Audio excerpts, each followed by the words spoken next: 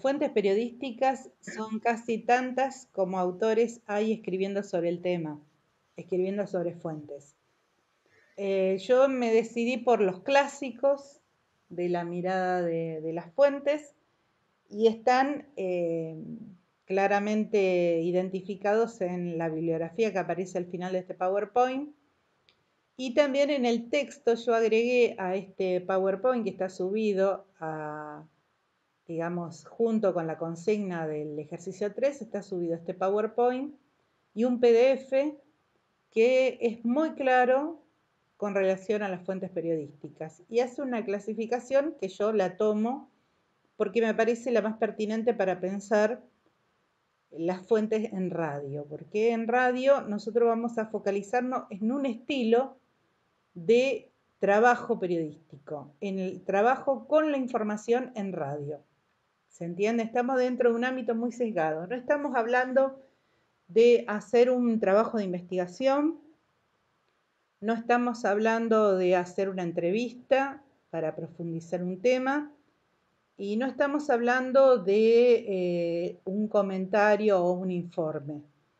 Estamos pensando en la información lisa y llanamente como la síntesis, eh, digamos, discursiva de un hecho de la realidad.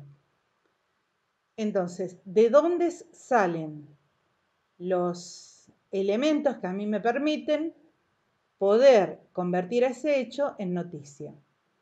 Ese hecho noticioso tiene ciertas fuentes a las que yo voy a recurrir. Mirando esto, mirando solo el hacer periodístico noticioso en radio, es que yo hice esta selección sesgada del el tema vinculado a las fuentes periodísticas. Lo primero que quiero dejar claro es la definición, que parece una obviedad, pero a veces es como que se necesita eh, verbalizarla. Yo tomé la de Portugal y Yutachak, no me sale nunca ese apellido, a los apellidos difíciles nunca me salen. Eh, es un libro que habla de producción en radio y estos autores van a decir que las fuentes son aquellas que proporcionan básicamente testimonios, contenidos, datos o argumentos ya sea de manera directa o a través de otros medios. Estas dos grandes categorías son las que vamos a tomar como eje principal, que hay una, una llegada directa de elementos que a mí me permiten generar argumentos o me dan contenidos para producir una noticia, o algunos que son de manera indirecta a través de otras eh, elementos fuentes. Para ello vamos a ir a la clasificación que yo he escogido, que es esta. Las fuentes primarias, la más clásica, y las fuentes secundarias. En realidad se llama eh, a la fuente primaria aquella en la que el periodista tiene el contacto directo con el hecho.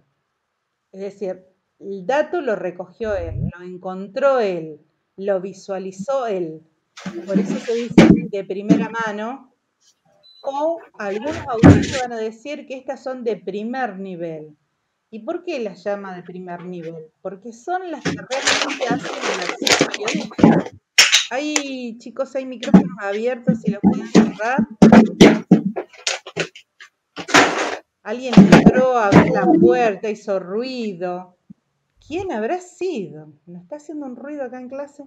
Bueno, decía que se llaman de primer nivel porque se considera que son las que hacen a la acción periodística, interpretando al periodista como aquel que va detrás de la información, va y la busca y la trae para difundirla.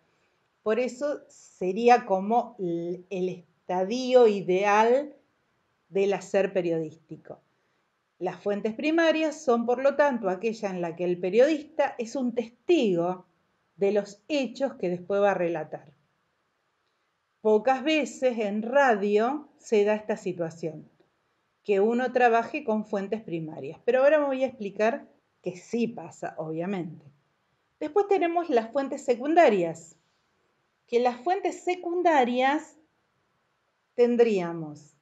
Esto también, chicos, son em, clasificaciones que aparecen los autores que están en la bibliografía. No es idea mía esta clasificación, aclaro. Las fuentes secundarias son de segunda mano y de tercera mano. Se llama de segunda mano cuando a mí me llega a través de un testigo del hecho. ¿Se entiende? Yo no fui el que lo presenció, pero hablo con el que sí lo presenció. Entonces me entero por el que es que realmente lo vivió. Ingresan en esta categoría tres clasificaciones que también aparecen en la teoría. El Human Source, ¿quién sabe inglés acá? Hay varios, ¿no? Que saben inglés. ¿Cómo se dice? Human. Human Source. Source. sí. Physical Source. Y Offline Source. Bueno, esta definición viene de una categoría enunciada por un e investigador norteamericano que nos viene bien al caso. Porque está bueno pensar que este, este testigo puede ser un testigo, puede entrar en esta categoría de testigo, un experto, supongamos, eh, hoy, eh, bueno, luego de la marcha de ayer que hubo en Capital, estaría bueno que uno consultara un experto si tiene razón, si, si le podríamos encontrar fundamento a los argumentos de la gente que salió a expresarse en contra de la cuarentena. En vez de decirlo yo, de decirlo un funcionario, que hable un médico, un científico, alguien que está, un, un investigador del CONICET, que está involucrado en indagar sobre el COVID-19. Entonces, alguien que está haciendo investigaciones con el COVID-19 es como si fuera un testigo de la problemática y al que yo consulto para que él me explique o me dé datos para abordar un hecho de la realidad.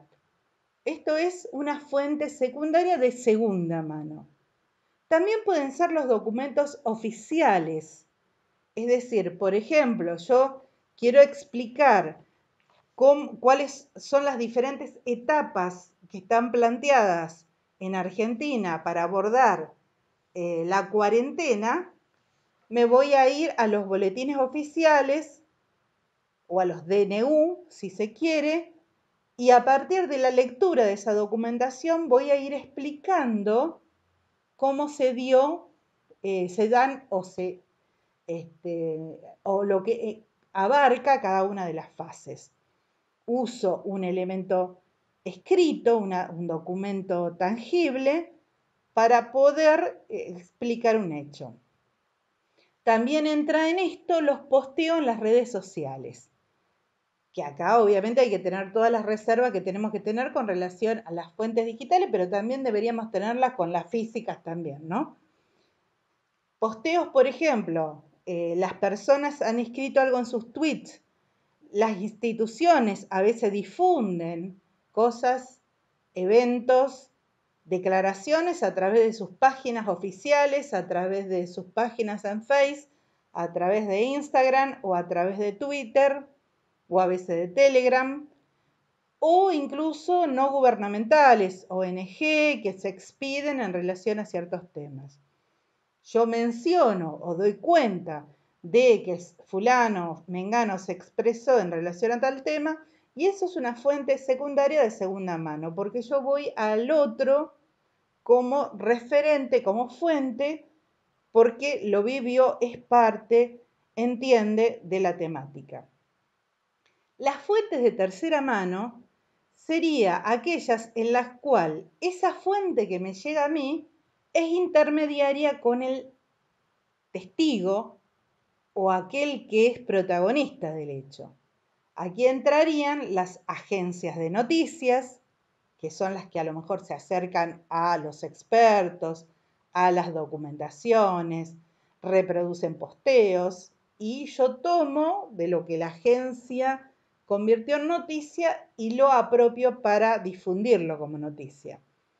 Medios gráficos, medios digitales audiovisuales, lo que dicen otras radios, los departamentos de prensa de algunas organizaciones o empresas que te hacen llegar ciertos comunicados, los voceros, voceros de, digamos, personas vinculadas con, con la función pública o vinculadas con la función privada. Son fuentes secundarias de tercera mano, porque hay más intermediación. ¿Cuáles son, cómo trasladamos estas categorías de primera, segunda y tercera mano a la radio? Bien, ¿cuáles serían fuentes de primera mano en radio? El móvil, porque el movilero construye la noticia a partir de lo que está viviendo, está viendo, presenciando y conversando con testigos, entonces a partir de su propia experiencia va configurando la noticia. Ese móvil es primera mano para la radio. el que fue una conferencia de prensa y recoge y hace una crónica de la situación de la, de la conferencia de prensa para contarla, para destacarlo el dicho más impactante o la acción o la conducta o la respuesta. La cobertura de un evento, por ejemplo. ¿Qué tiene que quedar claro? La primera mano es cuando el periodista o la radio tiene un periodista que el dato que aporta la radio es solo y propio de ese periodista. No tiene ningún otro filtro. El periodista lo vivenció, lo recogió, lo trajo y lo aporta a la radio. De segunda mano, ¿qué sería en radio una fuente de segunda mano? Por ejemplo, se hizo en la radio de la que yo, en la que yo trabajo y para la que construyo información, una entrevista a un personaje público que hizo una declaración impactante. Tomo ese audio del programa de mi radio y lo utilizo para construir una información. Eso es material de segunda mano. Datos difundidos por expertos de ciertos temas, por ejemplo. No sé, eh, yo veo la cantidad de casos, lo que el Ministerio de, la, de Salud Pública de la Nación dio a conocer las últimas cifras de los infectados en las distintas localidades y zonas de la Argentina eh, o en el mundo. Estoy tomando esos datos y a partir de esos datos, de esos expertos, construyo la noticia. Mención de documentos oficiales, por ejemplo, te digo, este, según el último eh, la última, no sé, decreto ministerial, se dispone que los exámenes en los diferentes niveles no tendrán validez en el ciclo lectivo 2020. Eh, bueno, tomo el parte oficial del ministerio y digo la fecha y, y entonces construye la información desde ese parte. O mencionando un tuit, evidentemente, digo directamente en el tuit oficial tengo que asegurarme que el tweet sea oficial, no tengo que cometer el error de TN de difundir una imagen como que era de Avellaneda y era de Chile. Digamos, tampoco voy a eh, difundir cualquier tweet. Tengo que ver el origen, tener certeza y confiabilidad en lo que voy a difundir. Y de tercera mano, sería tomar de otros medios, por ejemplo, algo que está difundiendo otra radio, algo que difunde otro medio gráfico, audiovisual o digital, una gacetilla de prensa que me llega de algún organismo, algo que me dio, me informó un vocero de un medio cualquiera, de una organización cualquiera, perdón, o si tomo información, construyo mi información a partir de los eh, partes de las agencias de noticias, ¿no? Yo en radio, para trabajar la información, uso estas tres manos, se podría decir, primera, segunda y tercera mano. Por sobre todas las cosas, para construir el boletín horario informativo, que es el que expresa por excelencia la noticia en radio. Voy a usar cualquiera de estas tres fuentes. ¿Cómo saber que la fuente es confiable? ¿Cómo saber si está bueno difundir eso que me enteré a través de esa fuente, sea de primera, segunda o tercera mano. Estos son los criterios. Esto también es parte de la teoría. Tiene que ser fiable, es decir, que cuanto menos verificación tengo que hacer sobre el dato, menos gente tengo que estar llamando para estar segura o seguro, más fiable es. Digamos, si la información viene directamente del ministro de Educación sobre eh, el posible inicio del ciclo lectivo luego de vacaciones de invierno, va a ser más fiable que si yo me entero a través de un secretario, del secretario de otro secretario. Porque no sé si es así, tengo que verificarlo. Tiene que ser creíble el dato. Perdón, tiene que ser creíble la fuente. La fuente tiene que ser creíble. ¿Qué quiere decir que es creíble? Que ya yo tengo prueba de que es honesta la fuente. Ya me ha pasado otras informaciones que han sido reales, que han sido ciertas. Si no es creíble, digamos, alguien que corre como veleta como el viento, obviamente me estoy arriesgando a difundir lo que me proporciona esa fuente. Tiene que ser productiva, porque ¿qué, quiere decir una fuente productiva? Es una fuente que cada vez que me pasa alguna información siempre es interesante en términos periodísticos. Hay actores sociales o organizaciones sociales que permanentemente nos están aportando información. Por ejemplo, las agencias de noticias, pero también algunas organizaciones que trabajan cierta problemática, no sé, se me ocurre, hay una agrupación que, una ONG que se llama Economía Doméstica, que eh, estudia la situación de la mujer en los diferentes eh, roles que le toca, eh, le toca desempeñar en la sociedad y cómo incide en la economía, pero todo, en la economía de todo, porque la economía de la mujer no está por fuera de la economía de todo. O, por ejemplo, se me ocurre chequeando.com. Chequeando.com eh, realiza sus indagaciones de manera muy minuciosa y siempre lo que eh, difunde es de valor periodístico. La fuente tiene que ser autorizada. ¿Qué quiere decir? Que o por quién es la persona, el tipo de, eh, de nombre que porta, digamos. Hay gente que por portación de nombre ya son autorizadas, siempre tienen una fuerza política, o por la posición que ocupan. ¿eh? Un ministro, es un, un senador, es un gobernador, es un intendente. Evidentemente eso ya lo convierte que lo que diga es una fuente autorizada. Y desinteresada, esto no es menor, es decir, cuanto menos beneficios saque mi fuente de la difusión de ese dato, más confiable va a ser eh, el dato que me da para usar en una noticia. Estos son criterios que hay que ir desmenuzando uno por uno, pero que deberíamos observar.